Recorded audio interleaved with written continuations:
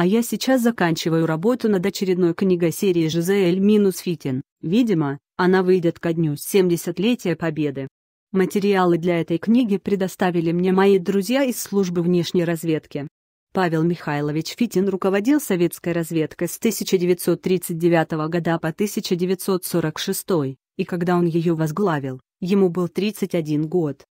Александр Юльевич, мы беседуем с вами накануне вашего 60-летия. От имени краснозвездовцев искреннее поздравление и пожелание сохранить бодрость духа и бойцовский характер. И, конечно, новых интересных книг. Прочитано 308 раз.